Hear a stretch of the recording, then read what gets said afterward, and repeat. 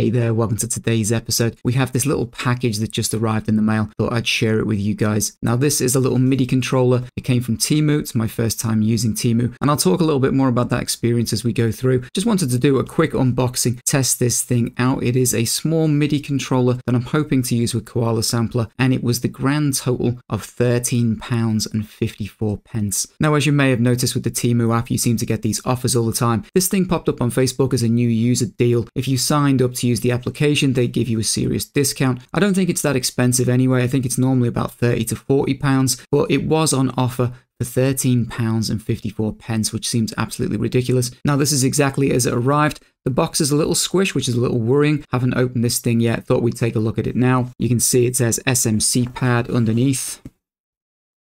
MIDI controller. So let's open up the box and see what this thing's all about.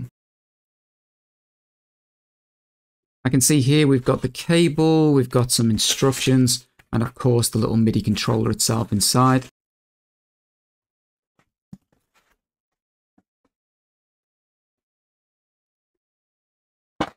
I've got to be honest, on the face of things, doesn't actually look that bad. It's by a company called M-VAVE. Thought it was M-Wave at first, but yeah, it's M-VAVE SMC pad. The thing about this is that it's technically a Bluetooth controller. It's got a USB-C slot for charging it, so it has a built-in battery. We've got eight endless encoders, 16 pads, and then a bunch of functions. I've got no idea how it works. I'm hoping that it's got a little bit of power straight out of the box if we press the power switch.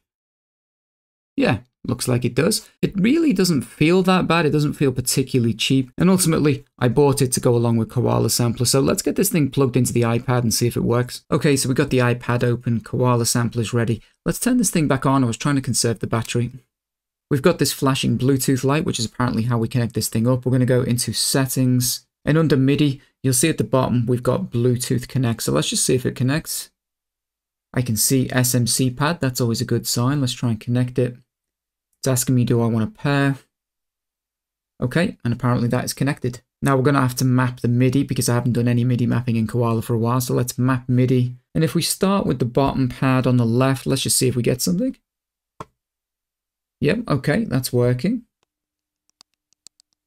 And now with all of the pads mapped in, that's a good start. Obviously, we've got these eight rotary encoders. And what I believe, according to the manual, is that you have two pad banks of 16 pads. And actually, you've got two knob banks as well. So you've got 16 rotary knobs that you can mess around with. I just want to start with some basics. So let's say on the first one up here, I'm going to have that as my sample start this one here as the sample end. And then I think just for these three, which I'd use all of the time, we've got volume, pitch, and pan. I'm going to put those in a row on the left-hand side, starting with pan at the top, pitch in the middle, and then volume at the bottom. On the right hand side of the device, there are some buttons here, which I'm assuming we can map as well. So if we go to sequence and then we take a look, we've got our play button, which I'm going to map to the play button. We've also got pause, but with Koala Sampler, it just uses the one button to play and pause, but we can set up record as well. So let's try record. And I think rather than getting too deep in this particular episode, let's just leave it like that. So let's stop the mapping. The big thing I want to know is what it's like in terms of the Bluetooth connectivity, because normally with these Bluetooth devices, when you're talking about audio, there's some kind of lag. And with this thing costing less than 14 quid. I'm really not sure what to expect. Let's load up a few samples. So we'll go to samples. I've got a kick drums folder. Let's just load up this one. I'm going to go back to samples. We'll load up a hi-hat. And samples once again, just to pick out a snare drum of some sort. That one will do. We'll move to sample and just make sure these are all one shots. And now is the moment of truth. How does this feel? Okay, I can't see any noticeable lag there, which is pretty incredible considering the price of this thing. Now the next thing I want to know is what kind of velocity we've got here, because it seems like there is some velocity enabled.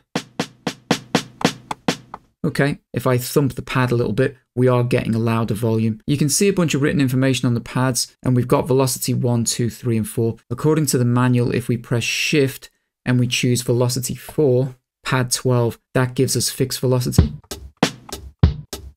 Yeah, that sounds about right. We've also got other options like note repeat, so I think if you hold this down and press a pad, yeah, we've got note repeat. Now with the note repeat, you can also change that in terms of the division. So you got quarter notes, 1 16th notes, that kind of thing. According to this, you have to do shift, note repeat, and then I guess you choose one of the pads at the bottom. So we got 1 16th notes. Let's try 1 quarter notes. Okay, seems to be working. And one more, let's just do shift note repeat and try 132. Okay, seems to be working just fine. Now there's also some swing options here that can be applied to the note repeat. So let's try that. You have to do shift note repeat. This says swing off. Let's try swing one. We'll also set it back to just 1 16th notes and just see what that sounds like. Let's come in and try swing two. And let's just see what swing three sounds like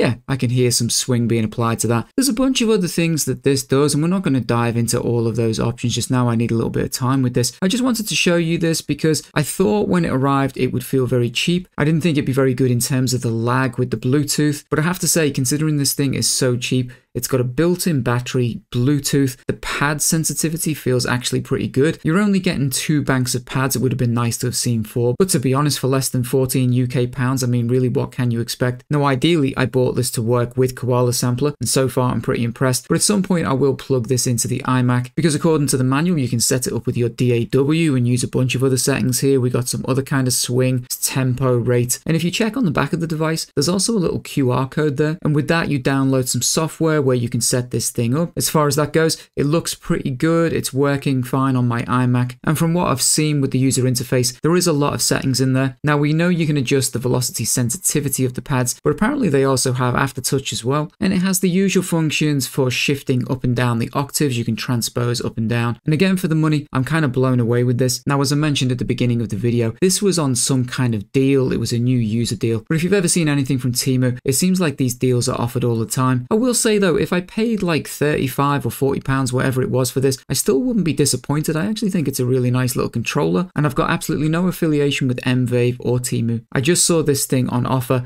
and for the money, I couldn't really resist ordering it. I'm going to be pretty curious what the battery life is like on this, and I also want to know if you can plug it in directly, maybe be charging at the same time, and just plug it in direct as a controller. And I don't wish to end this video on a negative note, but I do want to talk a little bit about Temu. In terms of buying this device, it was really easy. You sign up, they've got this application. Yeah, it's a little bit like a weird arcade game where they keep giving you all these offers and wheels to spin. But in terms of actually just getting it ordered, which I did through PayPal, it took approximately a week to arrive and you were kept informed most of the way throughout that process. The problem is that because I used Temu for the first time, one, you will be inundated with a bunch of promotional offers from Temu every five minutes. But also because I'd used that application, I was then offered a bunch of other information about Temu via social media, and it just so happened that on YouTube, it suddenly brought up this video about Temu as a company. Now, I'm a very grown man and I shouldn't really be naive, but I ended up going down a rabbit hole of watching videos about that company, and I have to say, some of it was a little bit shocking. It's my understanding that Temu is a marketplace, and you don't buy from Temu as a company, you buy from the people who create the products directly, which is why they can keep some of the prices down. Now, I've seen other videos about MVAVE, and I noticed whoever works for the company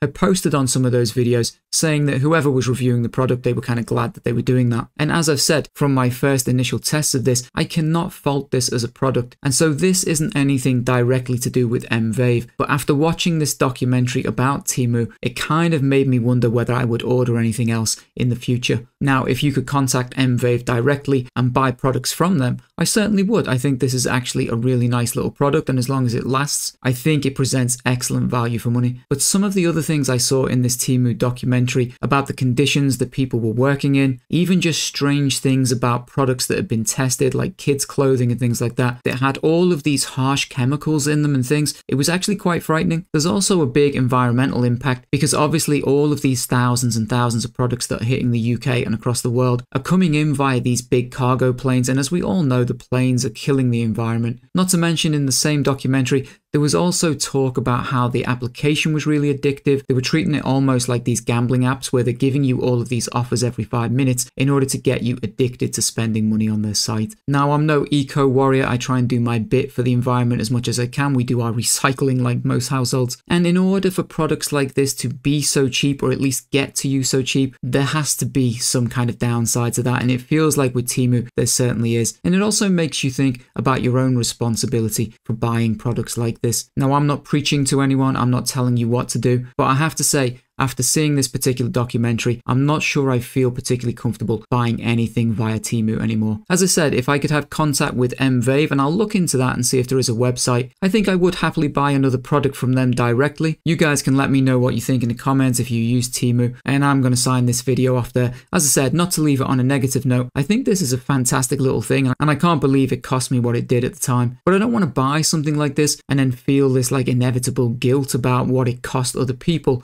maybe for me to get this at such a bargain price. Anyway, I'm going to leave it there. I hope you guys have enjoyed this video. Take care, and I'll see you in the next one.